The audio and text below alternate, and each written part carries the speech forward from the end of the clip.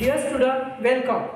Now, you know that there is a change around us. You must have seen the change in our surrounding.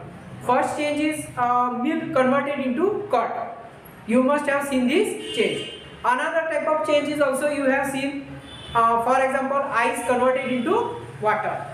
When uh, the uh, original substance and newly formed substance are different, then the change is called chemical change. Means when the milk is converted into curd, then curd will be will not be converted into milk again. This type of change is called chemical change.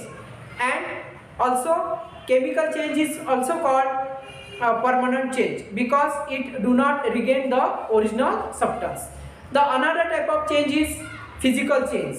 When ice is converted into water, this type of change is called physical change. म्हणजेच ice जेव्हा वॉटरमध्ये convert होतो त्याला physical change असे म्हणतात because the water will be converted into ice again म्हणजे यामध्ये काय होतं की अ, बर्फापासून पाणी मिळते आणि पाण्यापासून पुन्हा बर्फ़ मिळू शकतो this type of change is called physical change now we will study the chemical change and uh, word e- equation.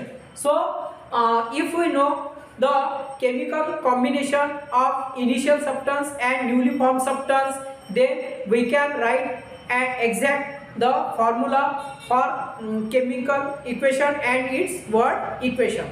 Suppose if we add uh, sodium bicarbonate that is baking soda on the uh, lemon juice then there is a formation of bubbles म्हणजे जेव्हा आपण baking soda म्हणजे खाण्याच्या सोड्यावर lemon juice टाकला म्हणजे लिंबूचा रस टाकला त्यामुळे काय मिळतं आपल्याला?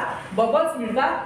बबल्स त्या असतात carbon डायऑक्साईडच्या when we add citric acid on the sodium bicarbonate then we get bubbles of carbon dioxide and sodium citrate म्हणजेच जेव्हा सायट्रिक ॲसिड आणि सोडियम बायकार्बोनेट यांच्या यांची जेव्हा केमिकल रिॲक्शन होईल त्यापासून काय मिळतं आपल्याला?